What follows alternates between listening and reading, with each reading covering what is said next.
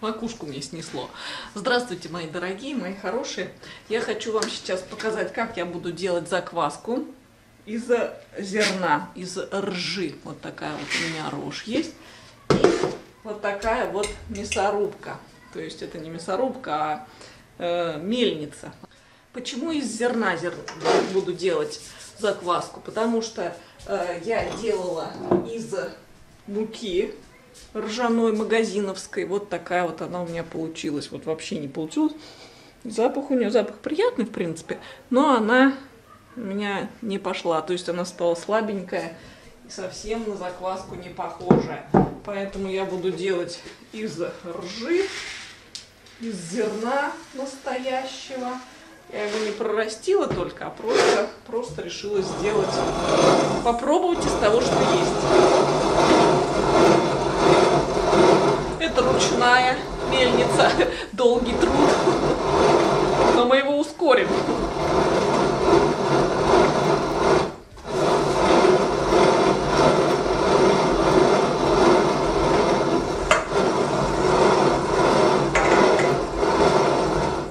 Ну вот такая вот получается мука.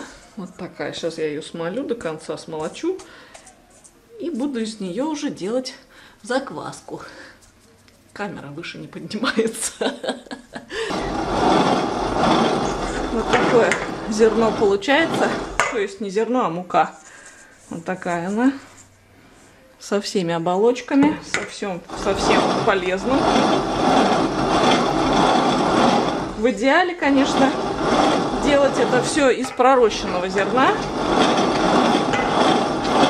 Вот так как у меня первый раз не получилось из магазиновской муки, то я решила сделать из зерна обычного.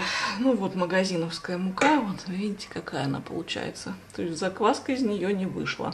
А начинался процесс хорошо, прям так она и булькала. И, и вообще прекрасно подниматься начинала. И пузырилась, но процесс не пошел. Итак, закваска у нас готовится один раз в пластиковой посуде, либо в стеклянной, но не в железной. И размешивается э, лопаточкой тоже деревянной, чтобы, наверное, микроорганизмы хорошо себя чувствовали. Итак, берем две части муки и три части воды. Итак, я беру две части муки, стакан муки,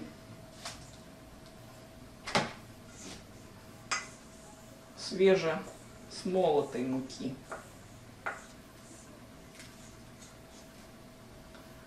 Зерно промывать можно, оно не так сильно влияет ни на что, вообще не влияет. Вот даже можно не мыть зерно. А сушить зерно, если вдруг вы его проращиваете, а потом сушите, надо при определенной температуре, при 40 градусах, потому что дальше все остальное уже гибнет. Дальше берем воду теплую, то есть если у нас вот нужно правильно рассчитать. Она должна такой консистенции быть, как густая сметана. Я сейчас, видимо, неправильно рассчитаю, потому что э, мука весит, наверное, больше, чем вода. Добавлю один стакан и потом еще половиночку. Потому что эта мука, она сухая и берет в себя очень много воды.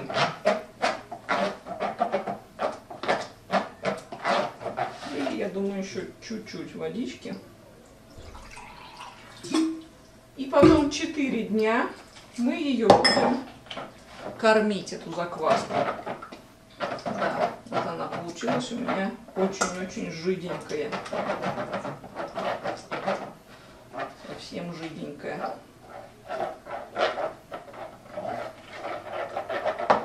В общем, полтора стакана воды и стакан муки. Посмотрим, что получится. Размесили. Теперь нам нужно это все накрыть крышечкой неплотно, чтобы закваска дышала. Поставить в теплое место 24 градуса, чтобы минимум было. на следующий день, на утро, мы ее покормим. Я думаю, еще чуть-чуть муки добавлю. Слишком она у меня получилась жиденькая.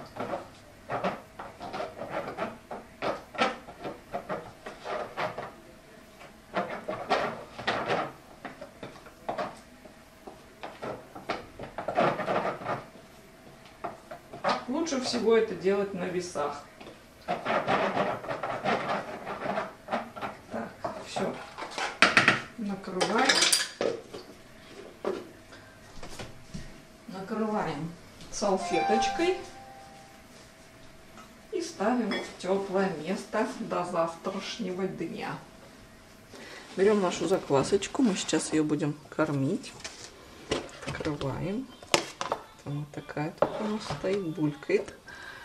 Я беру, нам нужна столовая ложка и маленькая ложка. Нам нужно будет 60 грамм воды и 40 граммов э, муки.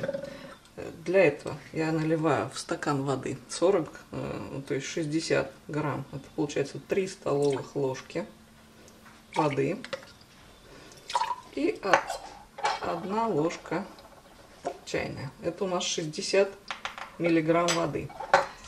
И дальше столовую ложку муки чайную ложку муки. Это у нас получается 40 грамм муки. Вот такой вот штучкой, такой пропорцией мы ее подкармливаем каждое утро и вечер. Размешиваем. Подкармливаем закваску 4 дня. Утром и вечером. Теплая вода, чтобы была. Не предупредила. 35-37 градусов. И вот так мы ее размешиваем.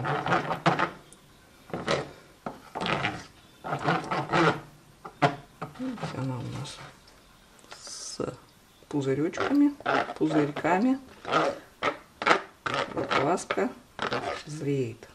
И пахнет она приятно пахнет. Очень приятно пахнет.